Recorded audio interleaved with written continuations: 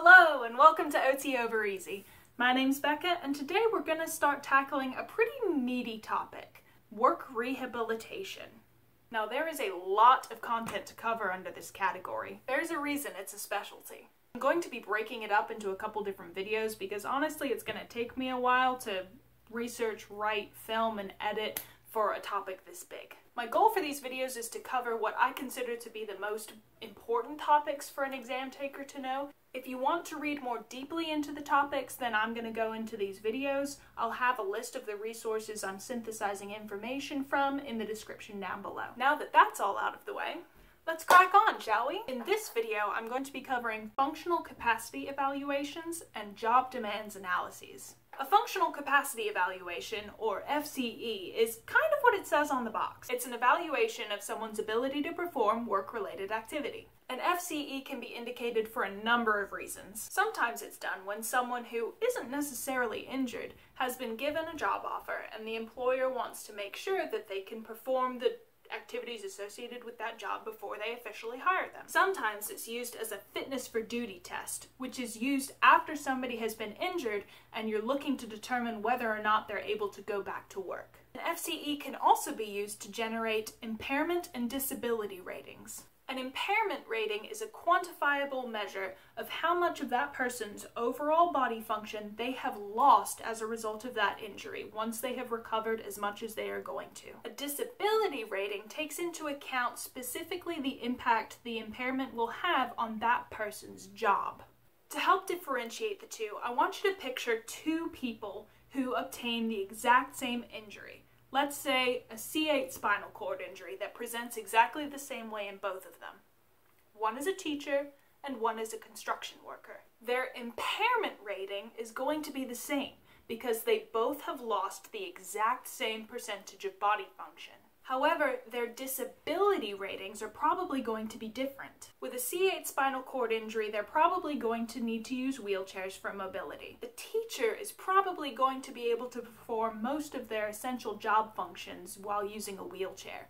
The construction worker probably isn't. Therefore, even though they have the exact same injury and lost the exact same physical capacities, their disability rating is going to be different. Impairment and disability ratings are often used in legal cases to help settle monetary values to compensate for their losses. So there are a couple different reasons that someone might be referred to you for an FCE. The FCE itself has two main components, a job demands analysis and a physical evaluation. Let's talk about the job demand analysis first. This is an evaluation of the job's requirements, irrespective of the person completing them. A practitioner can get a job description from an employer, they can go to the actual workplace itself and observe the workers, interview the workers, take uh, measurements of things like the workspaces, like the height of the desks, take notes on what sort of tasks the workers complete, what the physical functions required to complete those tasks are, and the practitioner is generally going to want to differentiate between functions that are essential to the job and non-essential to the job. Essential job functions are the elements of that job that must be completed if you're in that role. Let's say um, a secretary. A secretary probably has to be able to take incoming phone calls and write down messages or type messages, take down messages in some way. An example of a non-essential function might be taking out the trash in the office. Maybe that's something that the secretaries in this work environment sometimes do, but it's something that anybody in the office could do, so it's not essential to that role. The practitioner is also going to want to evaluate the level of work associated with that job. The level of work is a classification system developed by the US Department of Labor to help categorize jobs into different levels of physical demands. Levels of work have five categories sedentary, light, medium, heavy, and very heavy. You can see pictured in this table the amount of weight and how frequently someone has to lift that weight um, for different levels of work categories. To clarify, in these definitions, occasionally means that it happens up to one third of the workday. Frequently is one to two thirds of the day, and constantly means it happens more than two thirds of the workday. Instead of trying to memorize the whole table, what I find helpful is to just try to remember these weights, since they correlate pretty closely to each of the categories you'll find in the table. And then with each increasing level of work, you increase the amount of weight associated. So, for sedentary work, you lift 10 pounds occasionally.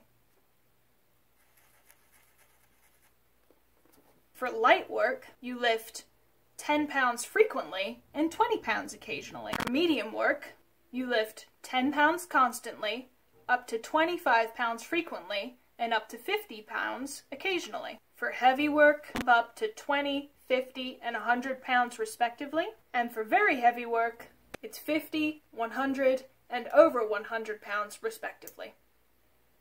Even though this method doesn't include the exact ranges associated with all the categories, it should get you close enough that you'll be able to answer any questions on this topic you come across. So all of that information that the practitioner gathers about the job, including the level of work, the job description, observing the workers, all that stuff, all of that comes together to form the job demands analysis. Next comes the physical evaluation of the worker themselves. The worker will be thoroughly tested in a variety of physical assessments. You're going to test their ability to lift, stand, carry, climb, crawl, see, hear, all sorts of physical functions. It's important to remember at this point that you are really objectively assessing their physical capabilities. What you're not doing is trying to simulate the job necessarily. Work simulation is an intervention technique, not an evaluation technique, and this is a functional capacity evaluation, so just keep that in mind. The FCE is wrapped up with a post evaluation that happens a day or so after the main evaluation. In the post evaluation, you're assessing for edema, discoloration, pain. Basically, you're just making sure that all that stuff you did the day before didn't wipe them out. Once you finish the physical evaluation of the worker, then you go back to the job demand analysis that you did and try to figure out if that person's physical capabilities match the demands of the job to figure out if they'll be able to do the work or not. For the most part in an FCE, you're going to want to be super objective, but there definitely are elements that are going to require your clinical judgment. In the documentation of an FCE, you're going to want to include your assessment of their maximum voluntary effort. Maximum voluntary effort is basically the degree to which you think a person is willing to perform at their max, or at least was during your evaluation. Now, there are a number of reasons that somebody might not have been performing at their physical best. It might be that they misunderstood the instructions. They might have testing anxiety or be fearful of pain. They could be fatigued or be under the influence of a medication that they're on.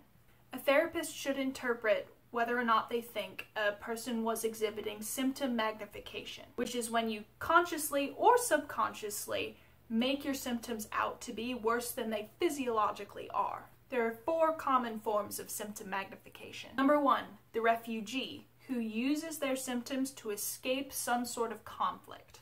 Number two, the misinterpreter, who responds to their symptoms in an overly exaggerated way either because they just have unrealistic expectations of the way the body is supposed to work, or maybe they have some sensory processing difficulties going on, and so they're having trouble correctly interpreting um, the sensory input of whatever their symptoms are.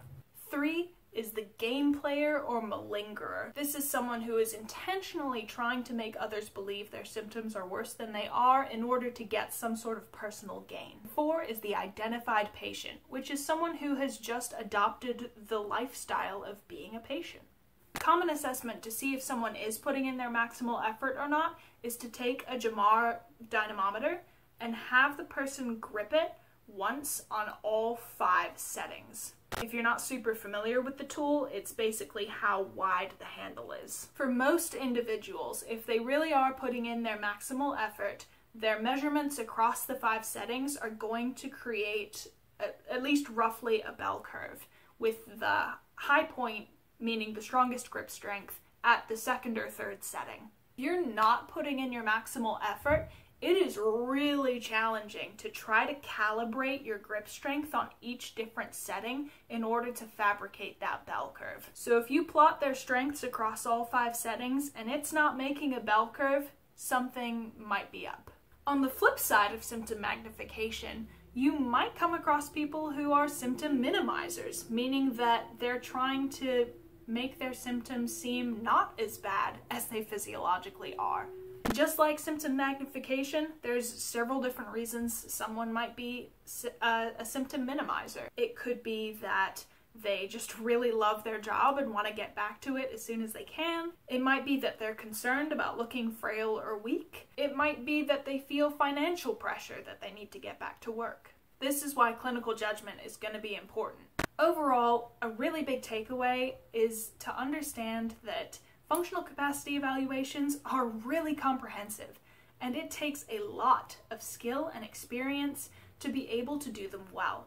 So a new grad really shouldn't be doing a functional capacity evaluation, at least not with significant help and supervision from a really seasoned work rehabilitation specialist. If someone's being referred for a functional capacity evaluation, a lot of the time there's a lot on the line.